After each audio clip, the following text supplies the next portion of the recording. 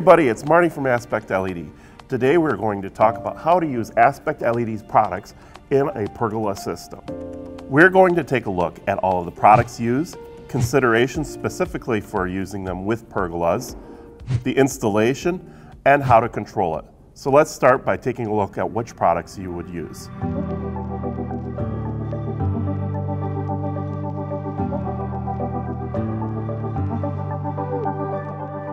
First, let's talk about strip lights. A great option when it comes to strip lights is Aspect LED's RGBW W Series strip light in Ultra Bright in the waterproof version.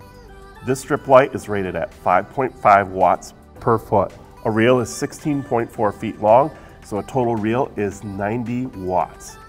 These are rated at 450 lumens per foot. It's a great option to really light up a pergola. Next, let's talk about controllers. We're going to be using the Aspect LED Z-Series receiver. This Z-Series receiver allows multiple receivers to be controlled by one four-zone remote or a three-zone wall controller. Each receiver is rated at 192 watts. Now let's talk about power. This system will need a power supply, and a great option is the Aspect LED 250 watt non-dimmable power supply. This is really great because if you take the 80% rule, which 80% of 250 is 200, that works out really well with a Z-Series controller, which is rated at 192. And this would power two of the RGBW strips, which equal out to about a load of 180 watts.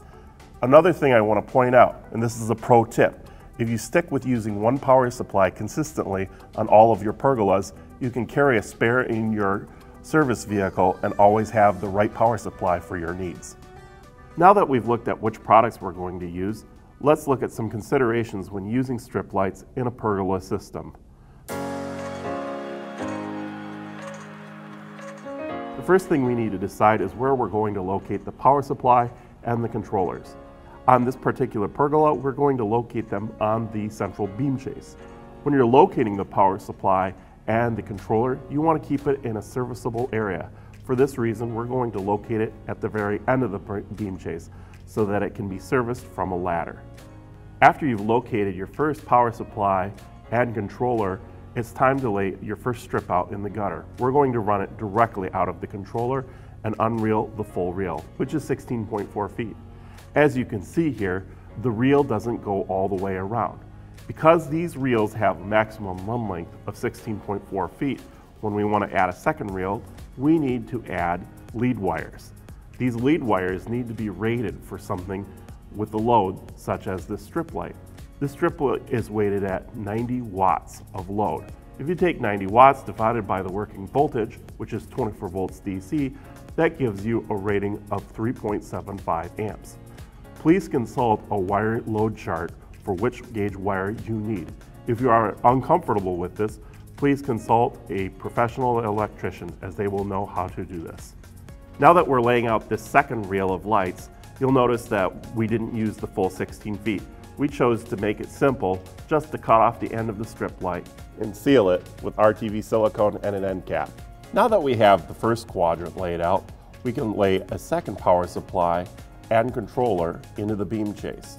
We're going to lay out the reel and then we need to add extension wires to get the second part because it's longer than one reel length, just like we did in the first quadrant. Once you do that, we have half of the gutter actually already wired up. We're going to take everything we did on this side of the pergola, mirror it over, and just add two power supplies, two controllers, and four more strips. And now we have the entire gutter illuminated with strip lights. Another option if you're installing a pergola is if you have tracks for a screen or something like that, you may have the option to add additional strip lights along the sides.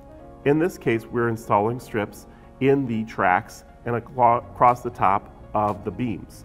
When we do this, we're running them all to a central location and then running a lead wire. You do need to account for voltage drop on the wire. So we took the total wattage of all of the strip lights brought them to one location, and then calculated the gauge of wire needed to run up to the power supply and controller that we added into the beam chase. Let's talk a little bit more about voltage drop. When you have voltage drop, you do not want to go over 10%. As a rule of thumb, I don't like to go over 5% just to account for human error. When you're doing voltage drop runs, make sure you're accounting for the full length of the wires that you are using. In this installation, we chose to have each corner of the gutter be in one zone, and then for each track area to be its own zone. This was to keep it simple for the end user. If you want to use the power differently or distribute it differently, that is up to you.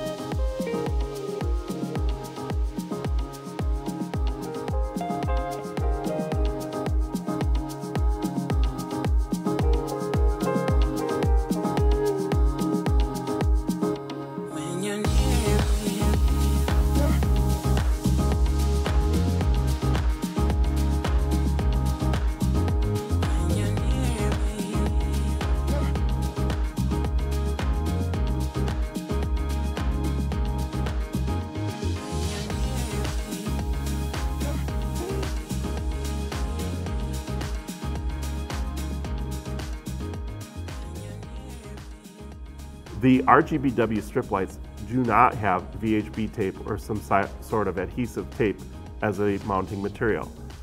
When you mount these, you need to use some sort of adhesive like RTV silicone. This will ensure that the strip lights are attached solidly to the tracks.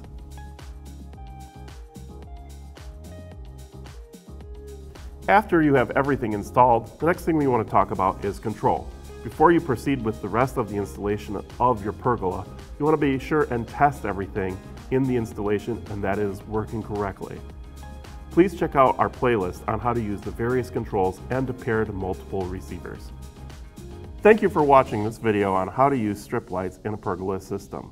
We covered all the details you need to know, including which products to use, considerations when using strip lights in a pergola system, how to install them, and how to control them. If you have more questions, please reach out to one of our LED experts here at Aspect LED and light up that subscribe button.